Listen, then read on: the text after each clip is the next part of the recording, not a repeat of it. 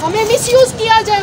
किस दिन हमारे भाइयों के यहाँ जाके कि मैं ये कहना चाहती हूँ कि आप लोग ज़्यादा नहीं तो इतना तो कर लो कि हुक्मरानों से पूछो तो सही कि ये जो औरतें हैं ये जो खातन हैं इनको मिस यूज़ करते हो तुम लोग इनसे नारे लगवाते हो। खान साहब कहते थे कि औरतें बाहर नहीं निकलेंगी तो तब तक हकीकी तब्दीली नहीं आएगी। अगर खान साहब के लिए औरतें निकल के खड़ी हो सकती हैं तो आफिया सदीकी के लिए औरतें क्यों नहीं निकली ये हम पाँच औरतें क्यों हैं? ये हम पाँच सात औरतें क्यों हैं? इमरान खान क्यों के लेजेंड था?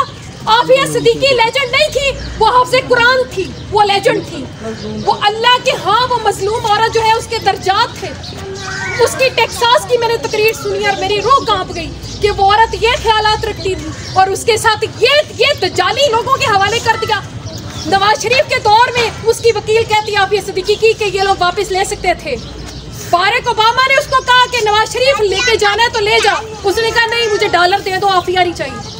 रख लो। नवाज़ शरीफ की अपनी बेटी नहीं गई। मरियम नवाज़ दे दो भाई अमेरिका के हवाले करो। डॉलर करो मरियम नवाज़ जहाजों में भर के के लाओ। करो। हमारी बहनें बेटियाँ क्यों देते हो अमेरिका को? सही है हम हम हम मशहूर हैं आप सब के आपके जज्बात की कदर भी करते हैं। और कौम की सब माओं से सब बहनों से सब बेटियों से बहुत शर्मिंदा भी हैं। बस अब हम वाइंड अप करते हैं। लेकिन बस आखिरी ये मीडिया के हमारे साथी सईद अली भाई अपने जज्बात के इजहार करना चाहते हैं। मुख्तर बस एक मिनट में करके हम इसको वाइंड अप करेंगे।